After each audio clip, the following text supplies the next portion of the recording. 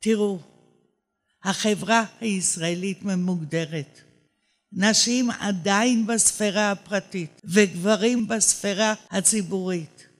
וחלק ניכר מהמשימה של השגת שוויון מגדרי זה טיפול בסוגיה של הורות שווה. הכנס להורות שווה הינו החמישי במסגרת פרויקט שערכה עיריית תל אביב בחודשים האחרונים תחת הכותרת עיר שווה. את הכנס פתחה תערוכה של הצלם השוודי יוהאן באומן, המציגה תצורה של הורות שוויונית באמצעות צילומים של גברים בחופשת לידה. ההתבוננות בצילומים מחברת אותנו לחוויה המורכבת, וזאת מעלה את השאלה מי המציא את המושג של חופשת לידה, למי היא מיועדת, ואולי בכלל כדאי לכנותה תקופת הורות. אז בתור התחלה, מהי בכלל הורות שוויונית? הורות שווה היא הורות שבה חלוקת התפקידים היא לאו דווקא שווה בדיוק, כי אנחנו לא אנשים שווים, אבל היא לא מבוססת על מגדר. כל אחד צריך לתת את מה שיש לו לתת בהורות. אה, שני ההורים צריכים להיות מעורבים. איך אנחנו בעצם חיות את המשך החיים שלנו אה, עם המשפחה, עם הילדים, עם בני, בן, בת הזוג שלנו, באופן שהוא הוא טוב יותר לכולנו, ולא רק עם המחשבה איך אנחנו אה, מחזקים את הכלכלה הניאו-ליברלית. אני חושב שבסוף, עוד לפני שמדברים על הפרקטיקה, הפרקטיקה היא פחות, כל משפחה יכולה למצוא לעצמה את הפרקטיקה שנכונה. בסוף זה, זה שוויון בתפיסה של התפקיד, זאת אומרת, כשאבות ואימהות תופסים ביחד את התפקיד שלהם כ... כהורים, שם כבר ת...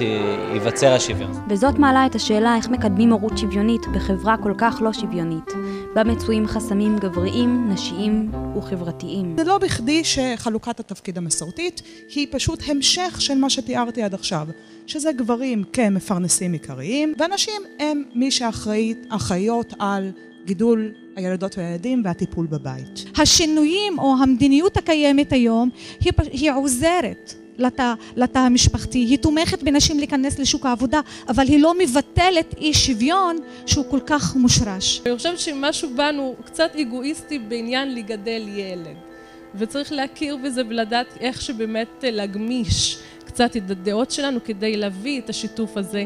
החסם המרכזי הוא שוק העבודה שמאוד מאוד מאוד לא שוויוני ומאוד מאוד מאוד לא ידידותי למשפחות ומאוד לוחץ על המשפחות לחלק את העבודה ככה שאחד מבני הזוג, כמעט תמיד זה יהיה הגבר, ישקיע את זמנו יותר בפרנסה, ואחד מבני הזוג, כמעט תמיד זאת תהיה האישה, ישקיע את זמנו יותר בטיפול, שמאוד מקשה גם על ההשתתפות של נשים בשוק העבודה וגם על חלוקה שווה של מטלות נשק הבית. הזהות הגברית והזהות האבהית של אבות ושל גברים בישראל היא כל כך לא מפותחת.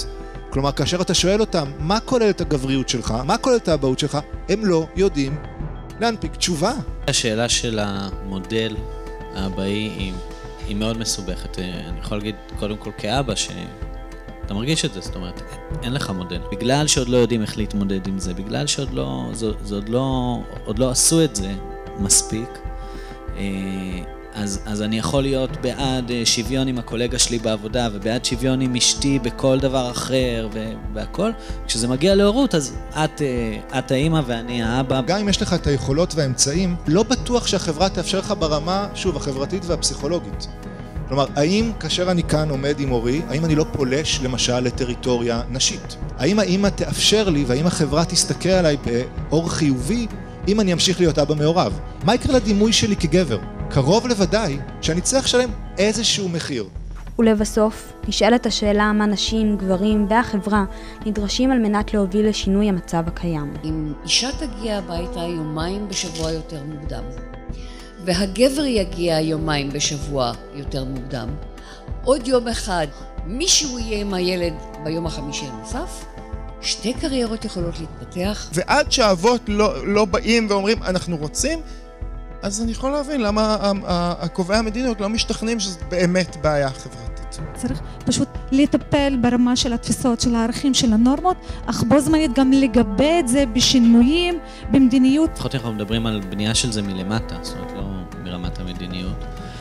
השוויון יגיע מתוך תפיסת uh, תפקיד שונה, זאת אומרת, תפקיד שווה. אני חושב שהפער שה, שבו אנחנו נמצאים היום הוא שאבות עדיין לא תופסים את האבהות כ... כתפקיד או כהתפקיד, או לפחות כתפקיד בסדר עדיפויות מספיק גבוה. הרבה פעמים המחוקק צריך להתערב כדי אה, שדברים יקרו. עיקר הפעילויות צריכות להתקיים במישור המדיני, כלומר צריך קודם כל להאריך את חופשת הלידה, אבל בעיקר לפקח בצורה הרבה יותר נוקשה על, על, על שעות העבודה, לייצר אה, הסדרים שונים של איזון בין עבודה ומשפחה. שינוי לא קורה מעצמו. לפעמים צריך כן לדחוף אה, קצת כדי שיהיה שינוי. כשדוחפים אבות לעשות איזשהו צעד, האבות המעורבים מרגישים איזושהי אה, הצלחה, או איזושהי הסתכלות מהחברה שהם כן הצליחו לעשות משהו וכן קיבלו אהדה ותמיכה, אז ברגע שהם עשו משהו והם קיבלו לגיטימציה לזה, לא צריך להמשיך לדחוף. מפה השינוי כבר יכול להתחולל לבד וכן, וכן להמשיך ולצמוח.